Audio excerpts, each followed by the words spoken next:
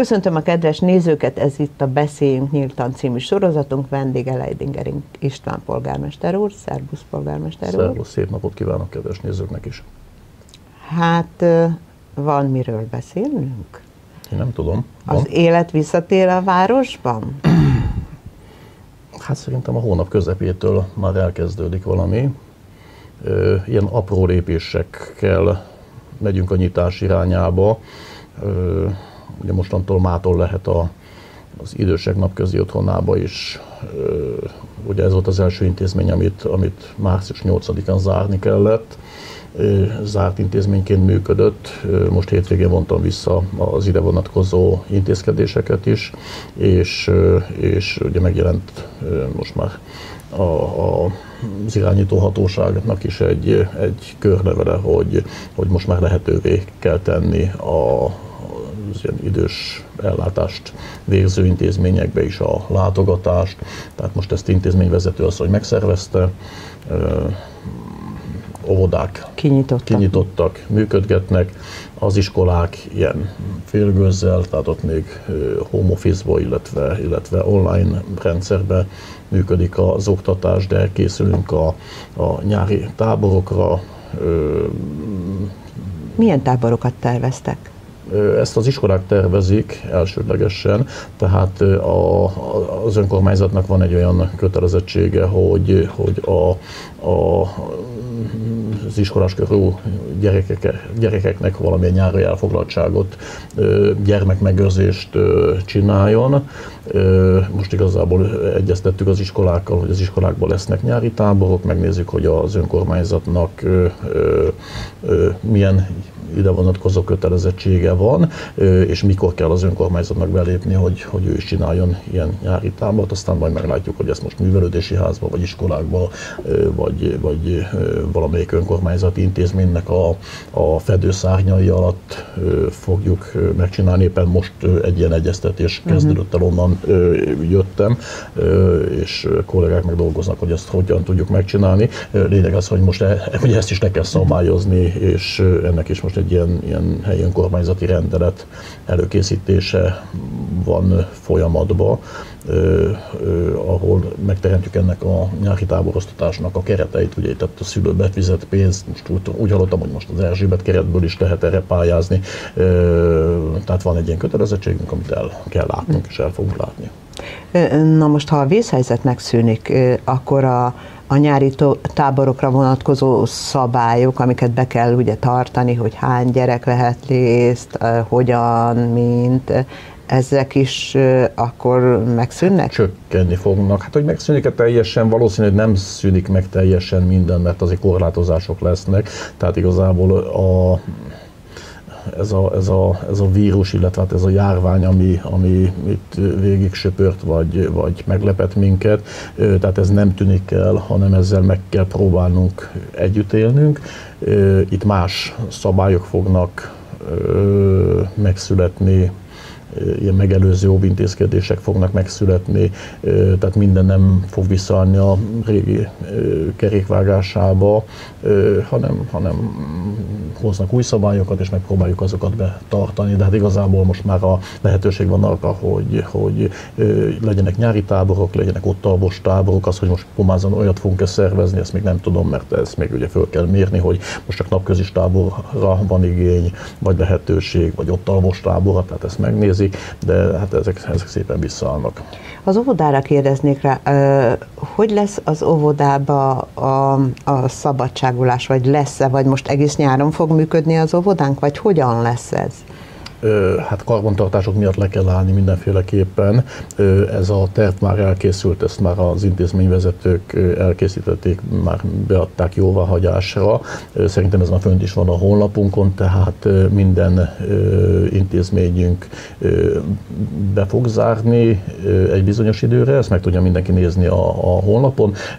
Tehát amíg a karbantartás fog történni, és, és addig a, a gyermekellátás a másik intézmény intézményben fog működni, ugye hát lesznek szülők, akik nem hozzák a, az óvodába a gyermeket, mert elutaznak, lesznek szülők, akiknek már nincs szabadságra menési lehetőségük, nem tudják megoldani, tehát ők miatt, miattuk kénytelenek vagyunk folyamatos üzemet biztosítani, tehát ügyeleti rendszer biztos, hogy megmarad, és működtetni fogjuk. És mi újság az orvosoknál? Ez a járványügyi előírások, tehát hogy a betegek csak bejelentésre mehetnek, úgy tudom, hogy, úgy tudom, hogy ez még mindig él, tehát az orvosokhoz ez, még mindig csak bejelentésre ö, ö, ö, fogadnak betegeket. Úgy tudom, hogy még, még az e-recept is működik, tehát fölírja az orvos, elküldi a patikába, oda kell menni és, és kiváltani a, a tajszám bemondásával. Tehát ebben én még nem láttam, hogy lennének gyengítések. A koronavírus hírek azok még mindig mennek a mennek. város weboldalán? Mennek. Amíg a veszélyhelyzet van, addig fognak is menni, tehát addig nyomon követjük a, a karanténba kerülőket, és nyomon követjük, hogy, hogy mi történik azokkal, akiket megfertőzött a koronavírus, hányan vannak, tehát ezt meg lehet nézni. Ugye hát most már köztudott, hogy végül is Pomáznak volt egy halálos áldozata is a koronavírus járványnak, tehát volt, aki, aki elhalálozott, és hát volt olyan nap, amikor, amikor több mint 30-an voltak karanténba Pomázon, ezek idegenrendészeti karanténok voltak. És jelenleg hogy állunk? Uh, jelenleg talán egy ilyen tíz fő van karanténba, illetve még ezt hozzá tudok számolni még plusz négyet, mert éppen most kaptam négy karanténba helyező határozatot, tehát mondjuk akkor ilyen 14-15 környékén van a, a karanténba lévőknek a száma. Azt nem tudok most pontos számot mondani, mert ezt most össze kell számolnom. Ugye nekünk minden nap van egy jelentési kötelezettségünk a, a járási hivatal felé, a helyi védelmi bizottság irányába, hogy hány fő ellátásra kötelezettről kell gondoskodni az önkormányzatnak, és ide vettem azokat az idős lakótársainkat, 70 év fölötti lakótársainkat, akik, akik ilyen önkéntes karantént vállaltak otthon, és azt mondták, hogy nem mennek ki, és az önkormányzatok kértek segítséget, hogy, hogy patikában menni és bevásárlásba segítsünk. Ezt az önkormányzat megszervezte, lelkes önkéntesekkel köszönjük szépen a, a munkájukat, és elláttuk így az időseket, ugye ez a tűzoltóságon kellett bejelenteni, igazából ugye nem folyamatosan, mert csak az elején, mert, mert kialakult avval az önkéntessel egy, egy kontaktus, és akkor már az idős ember tudta hívni egyből a, a, az őt ellátó önkéntest, hogy, uh-huh. hogy, hogy szeretne kérni bevásárlást, szeretne patikába menetelt kérni, postára menetelt kérni, és akkor szépen már ilyen önjáróan ment. És ugye hát ide mindig fel kellett vennünk az aktuálisan idegenrendészeti karanténba kerülők számát, illetve akik nem idegenrendészeti karanténba kerültek, hanem, hanem egészségügyi karanténba. Az a magyarul azt jelenti, hogy, hogy vagy ők, vagy közvetlen hozzátartozójuk koronavírus fertőzöttséget mutatott ki, pozitív volt a tesztje. Őnekik pedig föl volt kínálva a lehetőség, hogy hogy amennyiben nem tudják máshogy megoldani az ellátásukat, akkor az önkormányzattól kérhetnek segítséget, és az önkormányzat ellátja őt is. Ugye ennek született egy nem is tudom hányos számú intézkedés, hogy akkor ennek hogy történik az uh-huh. ellátása, vagy ilyen, ilyen személyeknek hogy történik az ellátása. Ugye itt végig kellett zongorázni, ki kellett találni, hogy hogy, hogy hogy fogjuk bevásárolni, hogy fogja kifizetni, mi történik a számlával, tehát ezek, ez, ez még egy élő határozat, mert ugye még, vagy intézkedés, mert hogy ez még, ez még folyamatban van, illetve ilyen még lehet, de jellemzően most már csak az idegenrendészeti karanténosok jönnek, ami azt jelenti, hogy, hogy tömegeivel a vendégmunkások, illetve most, hogy nyílnak a, a határok, jönnek át a, a karanténba rekett külföldön, vagy, vagy határzár miatt külföldön mm. rekedtek érkeznek haza.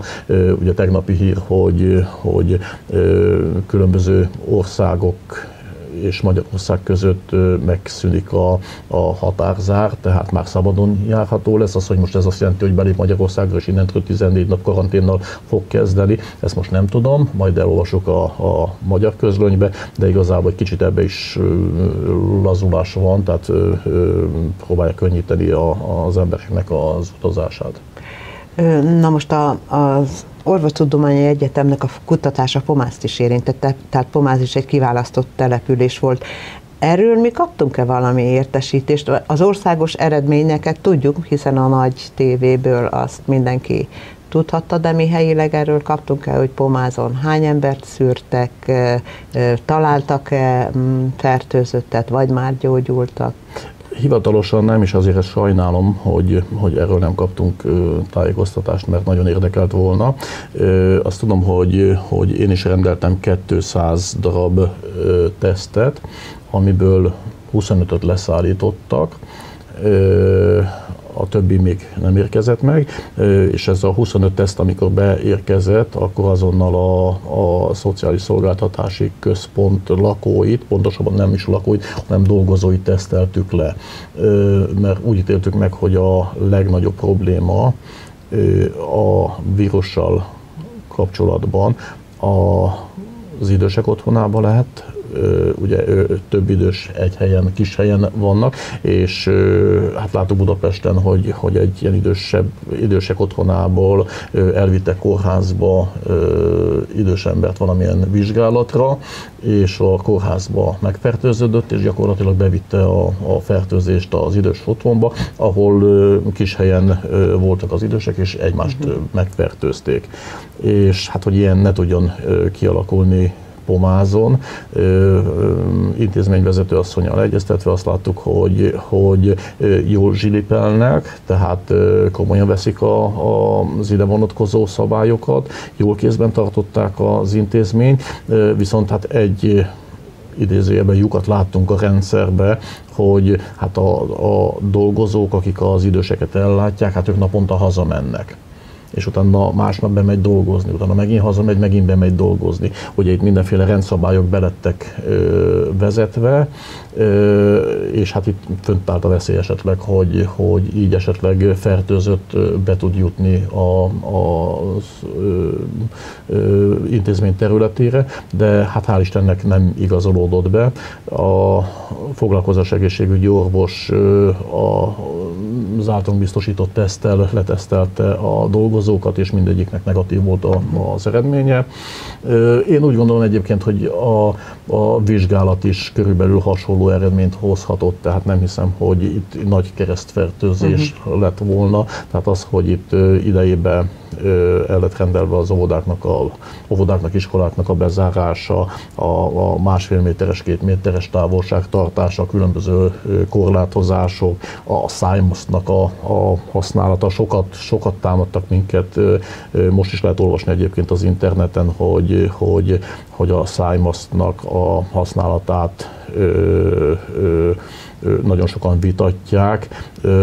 Mi azt mondtuk, hogy, hogy ártani biztos nem árt, akkor legyen, akkor, akkor, akkor elrendeltük. És korábban rendeltük el, mint, a, mint az ország, tehát mint, mint, mint jogszabályba kijött, uh-huh. kijött volna. Tehát egy jó két héttel előtte már pomázon, már csak száj, ór eltakarásával lehetett bemenni a boltba, amikor ezeket a hétvégi rendeleteket kiadtam, ott már voltak szigorítások, és ez pont azért volt, mert tudtuk, hogy hogy ezt el fogják országosan rendelni, és az, hogy erre föl tudjuk készíteni a, a lakosainkat. Tehát egyrészt hogy a önkénteseink ott álltak és osztották a, a, a maszkokat, ö,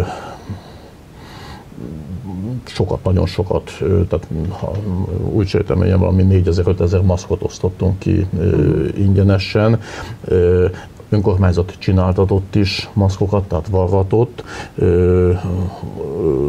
több pomázi kisvállalkozás ráállt és maszkot gyártott az önkormányzatnak, de nem csak vállalkozás, Bozsena asszony több mint ezer maszkot készített otthon, és hát köszönjük az ő munkáját is, illetve hát köszönjük az önkénteseknek a munkáját is, akik, akik pedig ezeket a maszkokat szombat-vasárnap a, a boltoknál osztották, mert hogy így lehetett nagyobb mennyiségbe eljuttatni jutni az emberekhez. És hát szerintem azért ezeknek a, ezeknek a, a megelőző intézkedéseknek is köszönhetően azért Pomázon nem volt különösebb probléma a járvány elterjedéssel, de mondhatjuk, hogy az egész országban gyakorlatilag nem, nem igazolódott be az, az, a, az a rossz verzió, amire azért fölkészültünk, hogy ami Olaszországban volt, ami Spanyolországban volt, köszönet az embereknek a fegyelmezettségért, hogy megértették, hogy, hogy az igazából nem ellenük, hanem miattuk van. Szerintem ez sokat számított, és, és hát tényleg azt lehetett látni, hogy, hogy sok esetben üresek voltak az utcák, és, és, és valóban elmaradtak ezek a, a társas érintkezések. De a legnagyobb domás én úgy gondolom, hogy, a, hogy a, az iskoláknak és az óvodáknak a bezárása az, ami nagyon sokat számított. Ezt minden gyermekes szülő tudja, hogy, hogy amikor szeptemberben elindul az óvoda, elindul az iskola, akkor az egész családon ez a hányásos, hasmenéses, egy-két napos ö, nyavaja az végig szokott menni és kis közösségekbe megfertőzik egymást a, a gyerekek, és viszik haza ezeket a vírusokat, baktériumokat, uh-huh. nem tudom, ezt majd a szakemberek elmondják, és ugye most pont ennek sikerült gátat szabni, hogy, hogy ne legyen ilyen, ilyen átfertőzés. Uh-huh. Én tudom, hogy nem vagy jós, nem tudod megmondani tutira, de mennyi esélyét látsz te annak, hogy most ugye állandóan azt halljuk, hogy esetleg ősszel, több mint valószínű ősszel, október, novemberbe vissza fog térni. Hát én pontosan meg tudom mondani ennek, hogy milyen, az 50 százalék, mert vagy visszajön, vagy, vagy nem. nem. Hát ez azt is mondják, hogy ez már itt is maradt, tehát ezzel Igen. vele kell érni az embereknek Igen. most már Magyarországon. Igen, tehát, tehát ez a vírus ez nem fog eltűnni, azt mondják, ez most se tűnt el egyszerűen, egyszerűen mint annak idején a, a pestis járványok, hogy terjedtek, terjedtek, aztán már majdnem mindenki pestises volt, és, és már nem volt hova terjed, és akkor szépen így mhm. alább hagyott a járvány. Igazából most is az történt, hogy, hogy mivel, mivel emberek elkezdtek ellene védekezni, ugye a vakcina nem volt, tehát nem, nem oltást kaptak, hanem nem immunisak lettek erre a, erre a vírusra, hanem elkezdtek olyan jelleggel védekezni, hogy eltakarta a száját, betartotta a megfelelő távolságot, elmaradtak a készfogások, nem nyalogattuk egymást, nem, nem utaztunk a zsúfolt buszokon otthon maradt mindenki, aki csak tehette, tehát ezáltal a, az egymás megfertőzésének az esélye jelentősen lecsökkent, és hát úgy látszik, hogy ez segített. Szeptemberben majd, hogyha megint nyitnak az iskolák, óvodák, majd meglátjuk De akkor. most már legalább tudjuk a protokollt, hogy így mit van. kell csinálni, és nem így vakon tapogatózva próbálunk előre menni, mert itt igazából ugye ez volt a szörny, amit itt is elmondtam többször a, a Pomász tévében, hogy, hogy, hogy egy, egy, egy, soha nem tapasztalt láthatatlan ellenséggel próbálunk küzdeni, és, és senki nem tudja, hogy most, most az az irány, amit követünk, ez most jó vagy nem jó, hogyha kiderül, hogy nem jó az az irány, amit követünk, hát akkor ennek, ennek nagyon súlyos következményei, halálos áldozatai lehetnek, és már nem lehet visszacsinálni, hogy tudjuk korrigálni, tehát ezért, ezért volt egy kicsit veszélyes, nem kicsit, nagyon veszélyes ez a, ez a terület. Uh-huh. Beindítottad a kisbuszjáratot a Vörösmarty úton. Milyen elgondolásból engedélyezted már? Hát pontosabban a tiltást vontam vissza, hogy, hogy tehát most, most gyakorlatilag a tömegközlekedés az működik, tehát a hév is működik, eddig is működött.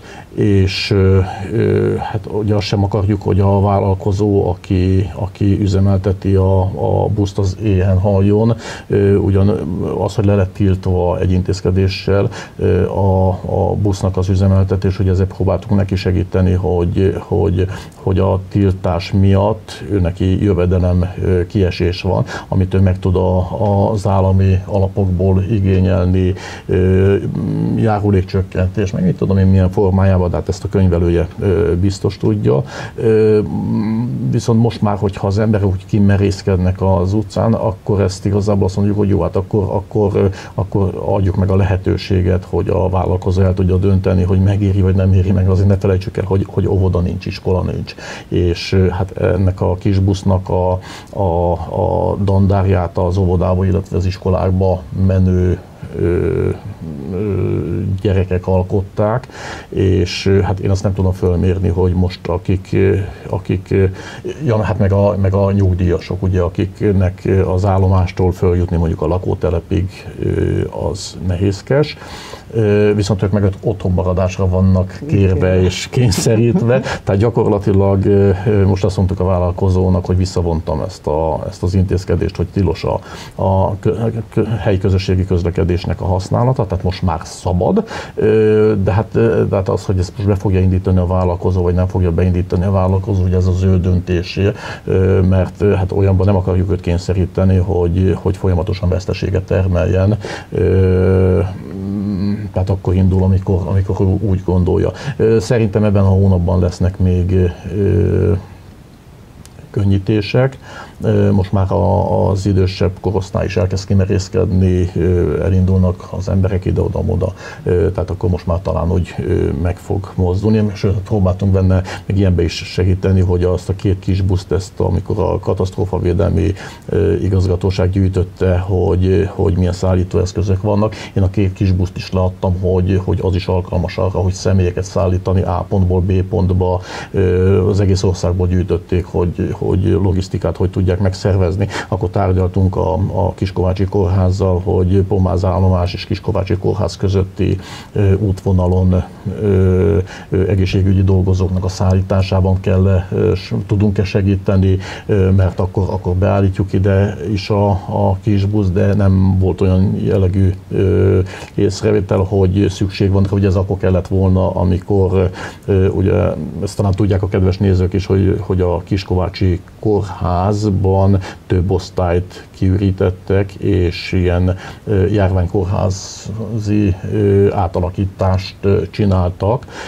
Aztán, hogy most itt a itt pszichiátriai betegek fogadására, vagy, vagy vagy koronavírusos fertőzöttek fogadására, azt nem tudom.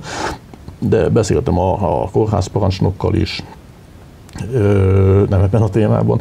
Mondtam, hogy ha hogyha olyanban kell segíteni, hogy, hogy egészségügyi dolgozókat szállítani, mert átvezényelnek egészségügyi dolgozókat ide, akkor ebben is közre tudunk működni. Hát most az lesz a feladat, hogy, hogy esetleg kipróbáljuk azokat a, a viszonylatokat, amit úgy terveztünk, és már beszéltünk a vállalkozóval, hogy, hogy nézzük meg ezt a, ezt a Vörösmarty lakótelep, Vörösmarty lakótelep fölötti területnek a, a bekapcsolását a helyi közösségi közlekedésbe, a temető Orlovác környékének a bekapcsolását a, a közösségi közlekedésbe, egy ilyen Pomás Szentendre hátsó úton való átmenettel bekapcsolását a közösségi közlekedésbe. Tehát nézzük meg, hogy melyek azok a területek, ahol esetleg uh-huh. lehet bővíteni. Ugye most még egy kicsit úgy azt mondom, hogy ráérünk, mert szeptemberben, hogyha beindulnak a, beindul az iskola, és beindul az óvoda,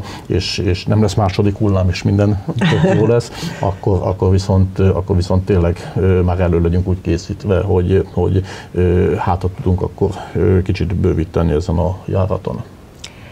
Megtartottuk az első városi ünnepségünket. Hogyan láttad? Az emberek végre már várták, hogy egy kicsit összejöhessenek, tehát közösségben legyenek? A Trianon. Trianon. Hát ez Há, volt hát az igen, első, igen. amit megtarthattunk. Igen, valóban. Ugye volt egy március 15-e, amit húztunk, húztunk az utolsó pillanat, és már pedig pomázon meg akarjuk tartani a március 15-ét, de aztán március 14-én olyan, olyan dörgedelmes ö, ö, ö, jogszabályok jelentek meg, hogy kénytelenek voltunk azt mondani, hogy hát akkor ezt a március, nem március 13-án, vagy akkor ezt a március 14-e, 15-i ünnepséget akkor le fogjuk ö, mi is mondani, amit ö, nagyon sajnáltunk. Ö, és hát ez most egy ilyen, ilyen nagyon gyors ünnepség rendezés volt, mert hogy volt itt, hát nem volt egy hetünk a, a megszervezésére, mert megjelent a, a az a, az a kormányrendelet, ami feloldotta a, a rendezvénytartási tilalmat a szabadtéren, és akkor, akkor azt mondtuk, hogy hurrát, akkor gyerünk, csináljunk egy, egy méltó megemlékezést a, a trianoni diktátum aláírásának a századik évfordulójára, mikor még nem tudtuk, hogy, hogy lehet-e szabadtéri ünnepséget csinálni, vagy nem, akkor ilyenekbe gondolkodtunk, hogy akkor kéne csinálni egy ilyen emlék testületi ülés, na de testületi ülés nem lehet tartani, azt még most se lehet tartani egyébként, tehát az se jó megoldás, hogy akkor mit kellene csinálni, és, de szerintem ez így nagyon jó volt, mert szerintem sokan voltak. Ugye hát, az időpont az adva volt, mert ez az aláírás, ez 16 óra 32 perckor történt június 4-én 100 évvel ezelőtt, tehát muszáj volt, hogy, hogy ehhez a, az időponthoz kössük a, a mi megemlékezésünket.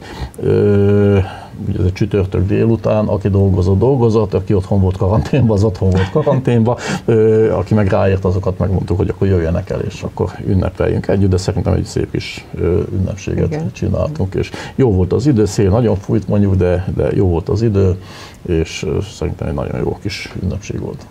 Azt mondtad, hogy nem lehet még testületülést tartani. Most miért nem lehet, hiszen vagytok 12-en, ugye tudtok egymástól két méterre ülni, tudtok maszkot is felvenni, vagy azért nem tarthattok még, mert még neked megvan az a, a jogosítványod, hogy egyedül is dönthetsz, vagy miért? Nem, nem csak testületi ülést, még bizottsági ülést sem lehet tartani, mert a veszélyhelyzet idején a képviselőtestületnek és a bizottságoknak a hatáskörét a polgármester gyakorolja. Tehát lehetne testületülést tartani, csak hozzáteszem, hogy minek. Hát nem dönthet semmiben a képviselőtestület. Tehát ö, ö, hozzáteszem, hogy minden előterjesztést ugyanúgy meg kell csinálni, egyébként ö, ezeket föltöltjük a honlapra, ö, csak annyi, hogy nem hívjuk össze a, a képviselőtestületet, hanem, hanem, hanem én egy személybe gyakorlom ezeket a döntéseket. Ö, hát akik megnézik, hogy milyen döntések születtek, tehát azt mondom, hogy ezek nem a fajsúlyos kategóriák. Amiben elmaradásunk van,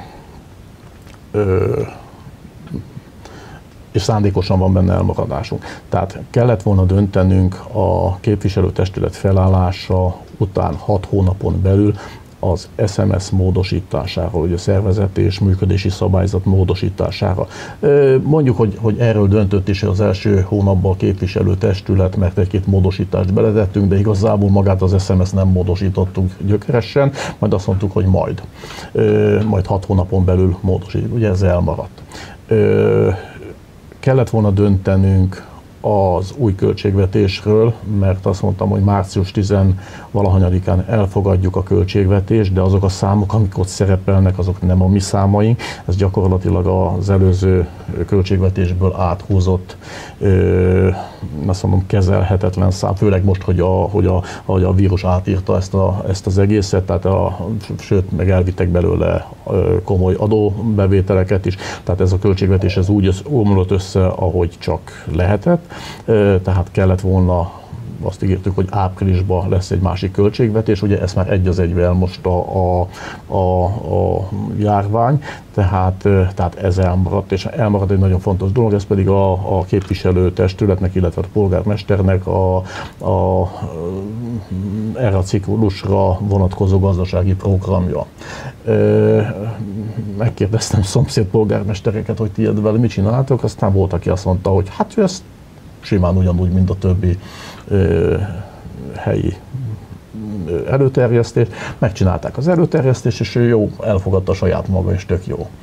Hát én mondom, ez, ez, ez egy olyan kérdés, hogy ezt csak szeretném bevinni azért a képviselőtestület elé, tehát erről beszéljünk, mert hát ez, ezek hosszú távú dolgok, úgyhogy ebben most egy kicsit ö, mulasztásos törvénysértésbe vagyunk, de ha minden igaz, akkor, akkor vége lesz a veszélyhelyzetnek ebben a hónapban, akkor az azt jelenti, hogy ennek a hónapnak a végén meg lehet tartani az első testületi ülést, és ennek a testületi ülésnek a napi rendje lesz akkor a képviselő testület gazdasági programja, tehát erről jobb, hogyha beszéljünk.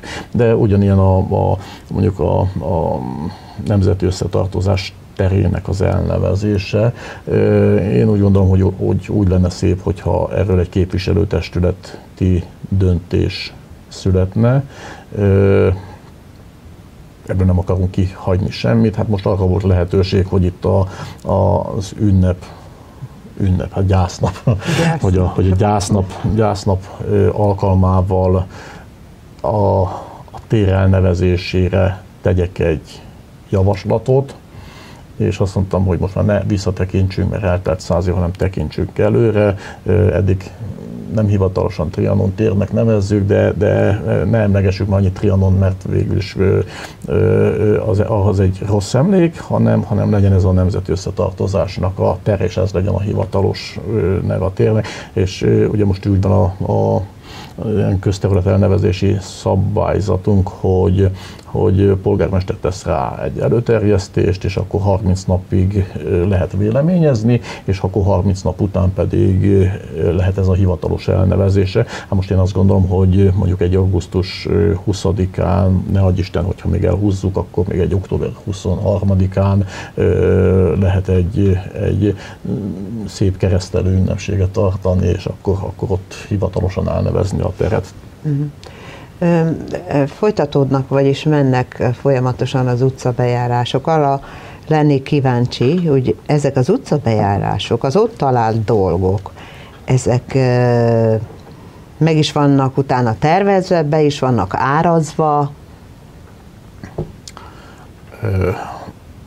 Hát az utcabejárások múlt héten elmaradt, talán mert esett az eső, nem is tudom, hogy valamiért azt elhajlasztottuk igen, időjárás miatt, de folytatódik. Megyünk, egész pomázon végig szeretnénk menni. Mi az, amit az utcabejárásokon észre lehet venni? Tehát nagyon sokat. Tehát nagyon sok probléma van a lakossági részen, mert hogy a lakó nem is tudta, hogy mondjuk a, van neki feladata lett volna, nem is tudta, hogy neki föl kellett volna, hogy írja a házára a házszámot például. Nem is, tudja, nem is tudta, hogy, hogy neki kellett volna a ház előtt levágni a füvet, mert hát nem olvasta a helyi rendeletünket. Már most a legutóbbi pomázi polgárnak az utolsó oldalán, nem az utolsó, hanem a középső oldalán, amit ki lehet venni az újságból. Ezt én javaslom is a kedves nézőknek, hogy ezt vegyék ki a, a, az újságból, és, és tegyék el, mert itt vannak leírva azok a szabályok, ami jelen pillanatban a hatályos önkormányzati rendeletek, többek között, hogy, hogy meddig, meddig lakossági feladat, mitől önkormányzati feladat, tehát hogy ezekkel mindenki tisztában legyen, és hát az első alkalommal még úgy csináltuk, hogy, hogy ami problémákat föltártunk, mindegyikből indítottunk egy, egy iktatott ügyet, aztán azt mondtuk, hogy hát ez nagyon nem jó, mert mire ebből az ügyből tényleg ügy lesz, addig már valószínű, hogy, hogy idejét múlt.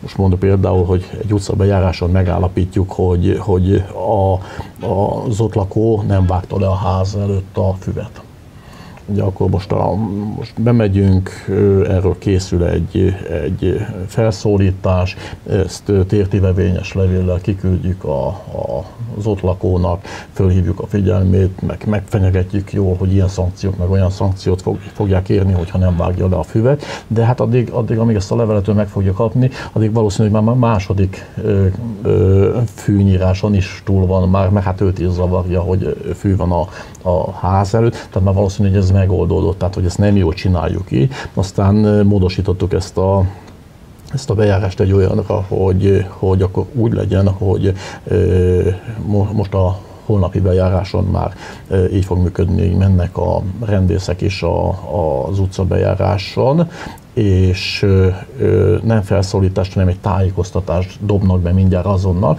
hogy kedves lakótársunk, értesítjük, hogy legyen kedves a, a, a füvet levágni, mert hogy az utca közepéig a lakónak kell a, a mm, közterület karbantartását elvégezni és utána majd egy hét múlva visszamennek a rendészek, vagy két hét múlva visszamennek a rendészek, és megnézik, hogy megcsinálták-e. Amennyiben nem csinálták meg, akkor jön az, hogy akkor felszólítás, tehát akkor elindul egy hmm. hivatalos ügy. Tehát szeretnénk azt, hogy rendeződnének a, a, az utca képek. Mivel találkoztunk, szemét volt kint, építőanyag volt kint közterületen, tehát közterületet nem a rendeltetésének megfelelően szabálytalanul használták, kátyú volt az úton, rossz volt a járda, tehát ezeket gyakorlatilag mind gyűjtjük össze, ezeket az információkat, és hát úgy, ahogy, ahogy mondod, hogy ezeket árazzuk be, és tervezzük rá, ami az önkormányzatnak a feladat, ezt az önkormányzatnak kell megtenni, például ugye most szedjük össze, hogy, hogy vízelvezető árkoknak a, a kiépítését hol kell megrendelnünk a vállalkozóval, mert hogy, hogy beomlott évekkel ezelőtt megszűnt, és, és hát valakinek ezeket helyre kell állítani. Hát, és azt meg szépen ütemezzük, és csinálunk ugyanúgy a, a, a kátyúzás, tehát olyan állapotban van az út, hogy, hogy lyukas, egyébként milyen nap van ma, hétfő van ma, ma reggel 8 órakor indult el a, a kátyúzás pomázon. Pomáznak a Vörösmarty lakótelep felüli oldalán kezdték a munkát, és hát folyamatosan haladnak és csinálják. Ebbe is változtatni kívánunk, tehát vissza akarom állítani az út ellenőri szolgálatot. De most már vannak motoros rendészfiúk, akiknek ki lesz adva, hogy minden hónapban melyek azok az utcák, amik nekik végig kell járniuk, és megnézni, hogy az úton van-e keletkező kátyú és ahol kátyút látnak, azt lehelyszínelik, feljegyzést csinálnak róla, és oda megy a vállalkozó, és meg fogja csinálni. Tehát gyakorlatilag egy hónapnál hosszabb ideig nem lehet kátyus az út. Ugye ez régen úgy működött Pomázon, hogy, hogy ö, volt a költségvetésben 30 millió forint kátyúzásra, jött a vállalkozó, elkezdett kátyúzni, szólt, hogy elfogyott a pénz, és utána elment, levonult. És akkor a következő évig nem történt semmi. Ö, tehát ez így nem jó, ezt nem így akarjuk csinálni. Ö, és a másik, ami nem volt jó, hogy, hogy Pomázon csak egyszer volt kátyúzás egy évben. Tehát ez egy szerencsétlen dolog, mert ugye a tél az mindig tönkreteszi az utakat, főleg ha nagy tél van, akkor, akkor mindig több a kátyú, és akkor mindig tavasszal volt kátyúzás, utána, utána semmi több nem volt, ami nem jó, hanem itt ezt folyamatosan kell csinálni, és hát most egy ilyen keretszerződést kötöttünk a, a vállalkozóval, hogy most az összes lyukat be kell fotoznia, utána mennek a rendészek, és ahol látnak, és ugye most nem a garanciáról mhm. beszélek, hogy, hogy amit nem jó csinált meg esetleg, hanem, hanem ahol újabb lyukak keletkeznek, akkor megy a vállalkozó is, és csinálja meg. Hát természetesen most nem ahol megjelenik egy öklömnyi lyuk, aztán oda egyből föl fog vonulni, hanem mit tudom én, havonta egyszer úgy végig fog menni, és ezeket a hibákat ki fogja javítani. Tehát nem fognak az utak ilyen mértékű romlásnak indulni, mint ami, uh-huh. ami eddig volt. Egyébként nagyon rossz állapotban vannak a, a műszakilag az útjaink, vékony az aszfalt réteg rajta, megsüllyedések, megy tönkre a, a szegély, a perem, útszegély, tehát, tehát ezeket most megpróbáljuk úgy egyszer úgy rendbe tenni, hogy utána ne legyen vele ilyen, ilyen nagyobb, nagyon komolyabb gond. A városnak a melyik részét látod a legproblémásabbnak? Tehát ahol a legtöbb gond van, ahová legtöbbet kellene költeni? Hát, szerintem az egyik táblától a másik tábláig. Tehát, tehát ö, ö, vannak, vannak olyan, olyan település részek, és most nem egy frissen belterületbe vont, ne Isten külterületi részek, ahova már sokan beköltöztek, és, és várják, hogy nekik is szilárdult burkolatú útjuk legyen, hanem, hanem városnak vannak nagyon sok olyan, olyan belterületi része, ami még soha nem volt szilárd burkolattal ellátva türelmesen várják az emberek, hogy majd csak egyszer fog történni valami.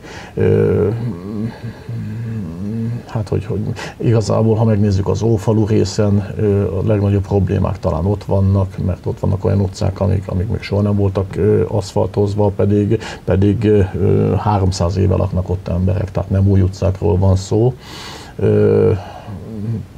és ráadásul ugye ott egy, egy szegényebb réteg lakik, akik nem is biztos, hogy meg tudják finanszírozni, hogy, hogy ott legyen útjuk. Egyébként most erre tesszük meg a jogi lépéseket, hogy megteremtjük annak a jogi feltételeit, hogy ahol az utcaközösség össze tud állni és azt mondja, hogy, hogy új út építésénél részben vagy egészben meg tudja finanszírozni, akkor természetesen ehhez az önkormányzat hozzá fogja tenni a, a saját részét, illetve megadja a műszaki ellenőrt, meg a paramétereket, hogy ezt hogy kell megcsinálni, hogy ez, ez egy jó út legyen, tehát ezt is ki fogjuk nyitni.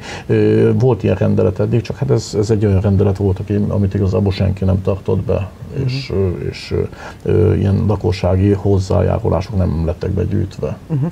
Egy ilyen bejárásnál az önkormányzati lakásokat is átnézitek? Ez egy követ, megnézzük persze, de az egy következő lépés volt. Ez a munka is elkezdődött, ezt Sipozoli képviselő úr koordinálja.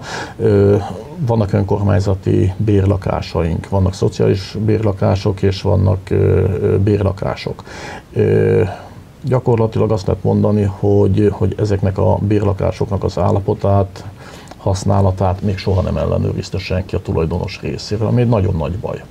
Tehát ilyen nincsen, hogy, hogy odaadom, hogy lakjatok itt, fizessétek a, azt a pár száz forintos, vagy pár ezer forintos bérleti díjat, vagy ne fizessétek igazából. Tehát most kezdtem ilyeneket, nézzük meg, hogy, hogy hogy állunk a befizetésekkel. Bár ilyen volt régen is, tehát találtunk ilyen, ilyen dokumentumot, hogy, hogy voltak felszólítások, hogy az elmaradt díjakat fizessék be, de az, hogy egy, egy szociális bérlakásba, vagy egy bérlakásba, vagy egy társasházba, hát mindenki azt csinál, amit akar, azért az enyhén túlzás, hogy, hogy ez így szabadjára van engedve. Van olyan, van olyan ö, szociális bérházunk, vagy bérlakásunk, amit a bérlő ö, kiadott albérletbe kb. tízszer azon az áron, mint amennyit ő fizet érte. Tehát ebből él, hogy a szociális bérlakást ő albérletbe továbbadja. Uh-huh. Na most hát ezeknek a felderítése, hát ez most az elkövetkező egy-két hónapnak egy, egy szép feladata lesz. Uh-huh. Kell egyébként bővítenünk is a bérlakás állományt, most erre is vannak azért nekem nagyon... Hogyan tudjátok bővíteni? Vásároltok újakat? Hát vásárolunk újakat, építünk újakat, illetve vannak ez a Puzzle Home nevű lehetőségek. Vannak olyan területeink Pomázon, ami gyakorlatilag semmire nem jó, mert gázvezeték megy alatta, meg, meg olyan védőtávolságok vannak, ahol nem lehet semmit csinálni. Most én ezekre a területekre gondoltam olyan pázli homokat kialakítani, mondjuk 24 négyzetmétertől fölfele, akár 100 négyzetméterig, ami lehetne a fiataloknak egy ilyen, ilyen fészekrakó program, tehát ilyen ideiglenes jelleggel, amíg nem tud házat venni, vagy családot alapítani, de ott el tudna indulni, és, és mondjuk, mondjuk családot tud alapítani, tehát hogy erre alkalmas lenne. És egy másik, ez ugye ez egy picit összefügg a, a főutca programunkkal, mert ha végig megyünk a főutcán, akkor azt látjuk, hogy hát itt, itt bizony itt, itt nagyon leromlott állapotú, nagyon rossz épület vannak, sok esetben komfort nélküli épületek vannak, amiben, amiben emberek laknak. Most, hogyha, hogyha egy ilyen komfort nélküli épületnek a lakójának azt tudjuk mondani, hogy, hogy adj nekünk ezt az épületet, amit mi majd jól le fogunk rombolni, és, és vagy helyreállítunk, hogyha, hogyha ez egy, ez egy tájvédelmi szempontból, vagy településképi szempontból egy értékes épület, és tudunk belőle valamit csinálni, és adunk helyette neked egy összkomfortos lakást, tehát minőségileg egy jobb lakhatást tudunk biztosítani, akkor szerintem mindenki jó fog járni, jó fog járni a település, jó fog járni a, a, az ott lakó is. Mert jelen pillanatban most van neki egy háza, arra se pénze, se energiája, se lehetősége, hogy, hogy ezt az épületet karbantartsa, megszépítse, és, és nekünk meg van egy csúnya főutcánk, ami, uh-huh. ami olyan, amilyen. Uh-huh. Tehát, hogy ebbe, ebbe, hogy hát, ha el tudunk, ez egy, ez egy kicsit hosszabb távú program, tehát itt még nagyon sok egyeztetést uh-huh. kíván ez, de ilyen formában gondolkodunk azon, hogy hogyan tudjuk mondjuk a bérlakásállományt is uh-huh. kicsit megnövelni. Tehát most, most, most mondhatom nulla bérlakással rendelkezünk, tehát, tehát ilyet nem lehet, mert, mert bárki kerülhet olyan helyzetbe, hogy, hogy tűz keletkezik nála, leég a lakás, és nem tud, uh-huh. nem tud hova menni, és az önkormányzatnak van egy, egy ellátási kötelezettség, és hát akkor most betesszük őt egy szállodába addig. Tehát ezek nem jó megoldások, nincs az önkormányzatnak lehetősége. Uh-huh. A Rupa Vidor utcában a Vujicsics tábla, emléktábla mellett lévő házat lebontották. Tesla tábla. Tesla tábla, elnézést. Én csak azt kérdezem, hogy az nem volt védett nem, épület? Mellett nem. levő épület az, ami mellett. védettsége alatt De hát van. az egy olyan egységet alkotott az a két épület. Legalábbis azt hittük, meg hát úgy építették egyébként, hogy, hogy itt átnyúltak elég rendesen a, a tetőtartó szelemenek egyik épületből a másik épületbe, tehát érdekes megoldások voltak, de most ez volt az az épület, ahol a tulajdonosa többször járt bent a polgármesteri hivatalba főépítésznél egyeztette, hogy, hogy mit is szeretne csinálni. Ez az épület már túl volt azon, hogy, hogy, hogy ez az épület mondjuk megmenthető legyen. Tehát, Tehát a, a Tesla épület is eléggé tehát ahol a tábla van, az is elég. E, igen, de, de itt, itt gyakorlatilag ennél az épületnél itt a földénbe volt szakadva, e, e, tehát ez, ez, ez már, ez már a, a nem megmenthető kategória volt, viszont hát erre meg nagyon komoly előírásokat kapott, hogy ő milyen épületet építhet a helyére. Mert hogy annak a, a tájba illőnek kell lenni, uh-huh. az építészeti környezetbe illőnek kell lenni, és hát volt is benne egyeztetés, ugye a főépítész megmondta, milyen ablakok lehet, lehetnek, milyen homlokzat lehet, milyen homlokzati díszeket használhat. Hát és hát reméljük, hogy ezt így fogják megcsinálni. Egyébként de hát folyamatosan ott járok én is, tehát figyelemmel kísérjük az épületet. Mellette levő épületnek a, a Mandics ház, vagy a Lóbaháznak a Bandics ház része, hát annak a homlokzata igen az, ami, az, ami már igencsak valót hagy maga után, viszont hát az, az nem egy önkormányzati épület, hanem ott, ott magán lakás, és hát ott laknak. Most eszembe jutott a főtéren, tudod, ami lebontásra került, a Hősök terén. Igen. Uh, ugye ott Szlávik. Most, ház. Igen, ott most két üres telek, telek van, van mindenfélével ott. Az most eladó tehát az már magántulajdonban van, gondolom árulja ott most. A... Elég régóta, de nem komolyan árulja, hanem, hanem csak ki van téve, hogy, hogy az eladó. Ugyanis a, a tulajdonossal beszéltem, és, és én azt kértem tőle, hogy, hogy amíg az önkormányzat nem tudja kitalálni, hogy, hogy arra a területre az önkormányzatnak szüksége van, vagy nincs szüksége, vagy legalább a területnek egy részére szükség van, hogy addig, addig ha nem muszáj, akkor ne adja el. Uh-huh. Ha az önkormányzatnak szüksége van az épületre, akkor vagy megvesszük, vagy nem az épületre, bocsánat, az ingatlanra, akkor vagy megvesszük, vagy, vagy valami cserébe, hogyha hajlandó belemenni, akkor elcseréljük, mert hogy ez egy nagyon értékes ingatlan egyébként mert hogy a kampány során mi a dugóhúzó tervről beszéltünk, és a dugóhúzó tervnek van egy hősök terét érintő része, ez pedig az, hogy, hogy ezt a meglévő körforgalmat hogyan tudnánk turbósítani. Ami, ha belegondolunk, egy nagyon nem egyszerű feladat, mert a Fáj András utcából kijövő és Szentendre vagy Budakalász irányába menő autó, aki bemegy a körforgalomba, illetve a, a Mártírok útján Martér útja felől jövő és a körforgalomba bemenő, és vagy Csobánka fele akar elmenni, vagy a, a Budakalász fele akar elmenni, tehát bemegy a körforgalomba. Tehát ennek a forgalomnak a szétválasztását kellene megcsinálni.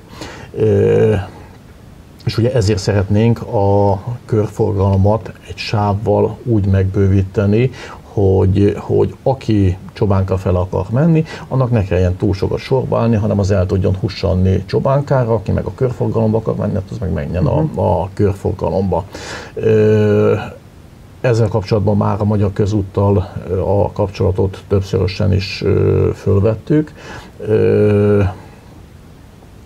mondhatom, hogy tárgyalások vannak, és hogy hát a, a maga az ingatlan az azért üres, mert hogy a tulajdonos egyelőre vár a uh-huh. mi ö, kedvező vagy nem kedvező válaszunkra, mert hogyha, hogyha mi azt mondjuk, hogy, hogy nem kell, vagy nem tudjuk, vagy nem akarok, vagy, vagy bármit mondhatunk, és a tulajdonos azt mondja, hogy jó rendben, akkor holnap eladja az épületet, és oda elkezdenek építeni egy, egy és felépítenek egy házat, akkor gyakorlatilag a kérdés uh-huh. eldönt.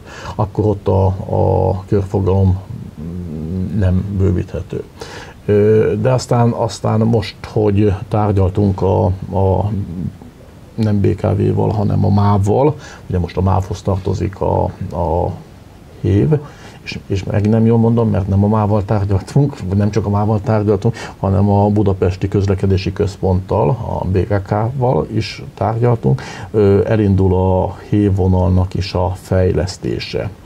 És megküldtek egy előzetes tervismertetőt, koncepcióismertetőt, hogy mit is szeretnének csinálni, és hát itt mi nagyon markánsan jeleztük, hogy, hogy egyrészt a, a Pomázi Parktelep nevű hév megállóra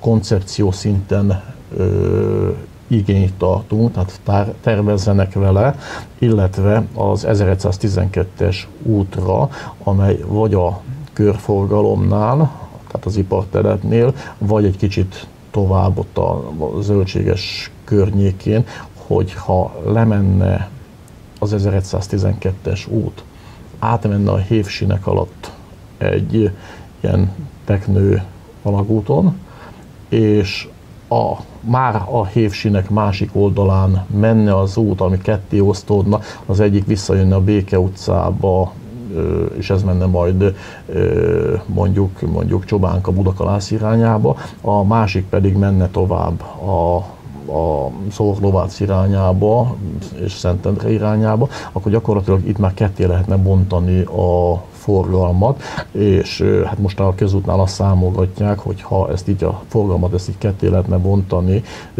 vannak erre nagyon jó ilyen, ilyen modellek, vagy, vagy ilyen számít számítógépes modellező programok, amik a forgalom alakulását számolgatják, hogy akkor lehet, hogy már a a körfogalom bővítésére, hogyha ketté osztottuk uh-huh. ezt a fogalmat, már nem is lenne szükség, amit én nem tudok, meg, meg úgy kétlek, de valamit kell csinálnunk, mert a, a fejlesztésbe is az az elképzelés, hogy sűríteni a járatokat, gyorsítani és sűríteni a járatokat, és most gondoljuk el, Akkor hogy, hogy, hogy 5 percenként jönne a hívott. 5 percenként. Az azt jelenti, hogy a, hogy a sorompa az gyakorlatilag föl se nyílna szinte folyamatosan zárva van a sorompó, és az viszont olyan szinten mhm. visszaduzzasztja a forgalmat, hogy, hogy járhatatlan mhm. lenne ez az út. És mindenféleképpen alatta, a sínek alatt gondolkodtok, vagy gondolkodik a közút, vagy, vagy a BKK, vagy pedig felüljáró? Melyik az olcsóbb? Vagy... Hát gondolom, hát ez egy gazdasági kérdés, hogy melyik az olcsóbb, meg melyiket lehet megcsinálni. A, a terveken, a koncepció terveken egy, egy tehát hévsinek alatt vezeti át az uh-huh. utat. A, lényeg az, hogy átérjünk a másik oldalra. Tehát nem a, nem a mostani szintbeli kereszteződésnél lesz ez a, a, a uh-huh. hanem, hanem az ott a mezőn lesz. Uh-huh Értem. és mellette egy szép nagy P plusz R parkoló, amivel itt győzködtük a közútat, hogyha, hogyha itt lesz egy szép nagy P plusz R parkoló, ahova gyakorlatilag a szentendreiek, a pomáziak, illetve csobánk, a Szent keresztiek is oda jön szépen leteszi az autóját, ott hagyja, és fölül a hévre is be tud menni Budapestre, és ráadásul itt össze akarják kötni a, a hévszerelvényeket, tehát a Szentendrei hévvel gyakorlatilag el lehet jutni mondjuk a Csepeli hévhez, uh-huh. vagy a Ráckevei hévhez, vagy a nyugati pályadról, mit tudom én, uh-huh. hova akarják vezetni. Tehát azért, azért ez, egy, ez egy jelentős előrelépés lenne, de hogy ezeket meg kell oldani, az uh-huh. biztos, mert így éle, most is élhetetlen a város. Most nem egyébként, most a, most a, a vírus alatt nagyon Igen. jól lehetett közlekedni, tehát nem volt probléma, de ha beindul az iskola óvoda, akkor gyakorlatilag megint Igen. ugyanott fogunk tartani. Figyelj, polgármester úr, az a terület különben önkormányzati terület, ahol a, a parkolót is gondoljátok meg ezt az elterelő utat? Nem. Nem? Az, az nem. önkormányzat? Önkormányzatnak nem sok területe maradt. Csak azért, mert meddig nyúlik le az Alcsevica? A nádasig? Nádastóig? Volt nádastóig? Addig nem, egy picit vissza még. Ott még van egy, egy MAF jelű terület, ami ami gyakorlatilag egy mezőgazdasági fejlesztési terület farmgazdaságra, bár ott most van egy elképzelés olyan sport létesítésre, de hát az sem a mi területünk egyébként, uh-huh. az van a, az alcsevicai beépítés mellett uh-huh. közvetlenül. Értem. értem. még egy témát szeretnék érinteni, az a illegális hulladék lerakást. mennyit költöttetek már rá? Hál' Istennek nem sokat. Na, hogy csináltátok? Hát az úgy nézett ki, hogy, hogy idegbajt kaptam, hogy, hogy 1 millió 400 ezer forintos számlák jöttek havonta gajak elszállításáért. És mondom, megörülök ettől, hogy, hogy, hogy gajakat elviszünk Tahitót faluba, letesszük, ott ledarálják nekünk, utána megveszük egy millió forintért a búcsot, visszahozzuk, és szétszórjuk a hősök terén. Na, ezek nem normális dolgok, hogyha ilyeneket csinálunk. És Hát most, hogy a zöld hulladék az úgy a nyakunkban maradt, és nekünk kellett összeszedni e, itt a, a járvány alatt, e, ahogy összeszedtük a zöld hulladékot, egyből be is doráltattuk, e, és nem szállítottuk el. Viszont ott vannak az úgynevezett illegális hulladék lerakó területek, ez a Béke utca, Alcsevica környékén, Klisovác környékén, az ipartelepen volt, illetve a Vár utcánál volt. Hát a hivatal egyik munkatársát én megbíztam, hogy, hogy kérjen ajánlatokat ezeknek a hulladékkal szennyezett területeknek a felszámolására, és hát kaptuk is a három árajánlatot, amiből a legolcsóbb 220 ezer forint volt egy 10 köbméteres konténernek az elszállítása. Hát ezen dobtam egy hátast, hogy hát ennyi pénzünk azért nekünk nincsen. Úgyhogy most összeálltunk önkéntesekkel ismételten, Hardi Péter alpolgármester úr szervezésében, vezetésével, és, és a VS szertétől hozattunk 31 ezer forintért konténereket. Igaz, hogy ezek 5 köbméteres konténerek és nem 10, ezeket megtöltöttük szeméttel, és ezeket elszállítottuk, tehát gyakorlatilag azt lehet mondani, hogy, hogy egy-egy konténernek az elszállítása, így az önkéntesek munkájának köszönhetően ez 31 ezer, azt plusz áfa áron történt meg. Hát most az elmúlt két hétben sikerült megtisztítani az Alcsevicát.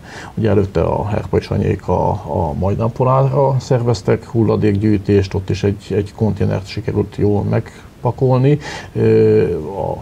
Dolgoztak a, az önkénteseink most a, most a Klisovácon, onnan is összeszedtek, vagy azt hiszem, hogy egy köbmétert, illetve a Vár utcáról is elment egy köbméter, ipartelepről is elment, nem egy köbméter, egy konténer.